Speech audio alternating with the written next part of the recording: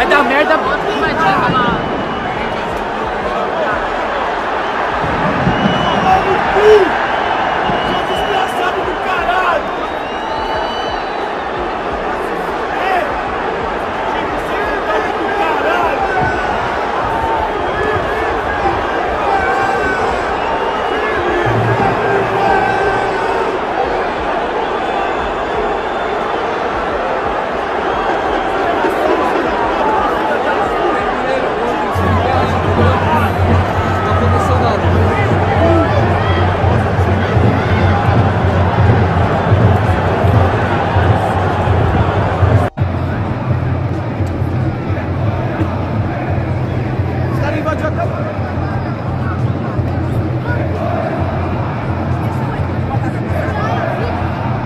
Léo, nossa mochila, hein? Realmente tudo deu errado. Não, não, não salvamos nada de um jogo como esse. Começamos com a ideia de, de jogo escolhida pelo treinador, que não, que não, não se sustentou, não se, se justificou.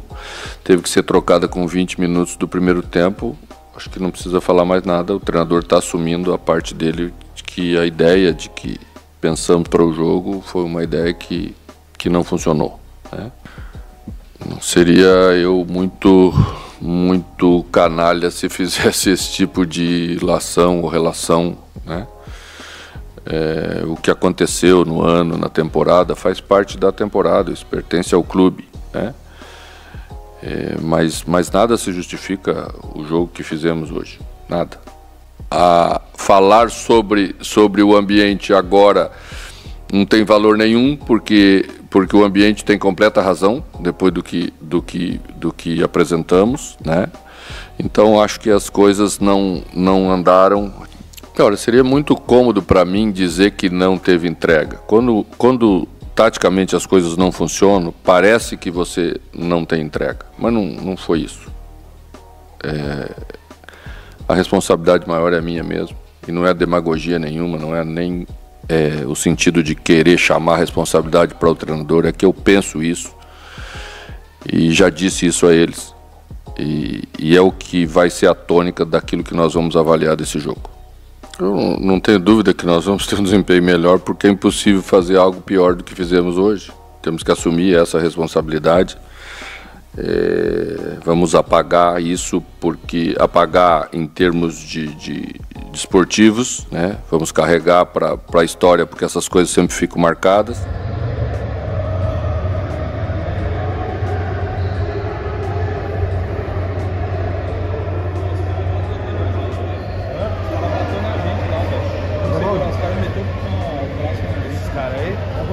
Tá aqui, velho. Bateu? Falei, mano, vou passar não. Pô, não bateu, bateu em mim, velho.